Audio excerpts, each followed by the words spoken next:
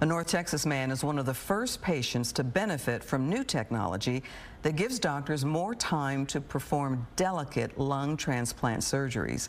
Fox 4's Alex Boyer has more on the patient and the procedure. Hi, Alex.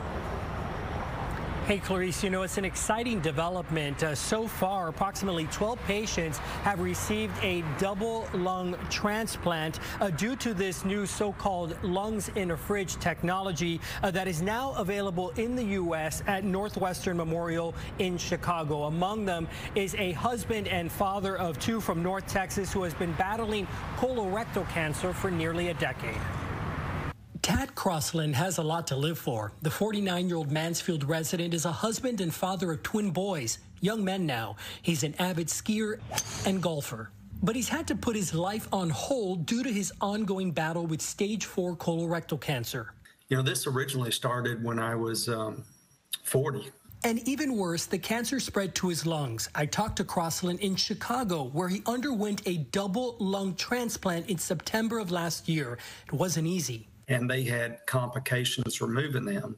So, you know, they were fused to my chest wall. The life saving surgery was performed at the Northwestern Medicine Canning Thoracic Institute. Now, we are really happy you're here today because your surgery was uh, absolutely one of the most difficult that I've done in my career. And the lungs that we saw and took out were perhaps the most disease that we've ever seen. Surgeons needed extra time for the delicate procedure, and they were able to get it through a state of the art lung refrigerator. The technology was pioneered in Canada and Europe, and within the last few months, it was adopted successfully at Northwestern Medicine. The refrigeration can keep the lungs intact for up to 18 hours, compared to about four hours when kept on ice. With this new type of preservation, our team can fly greater distance across the U.S. Part of the program's mission is to treat patients like Crossland who have advanced lung diseases and are out of options.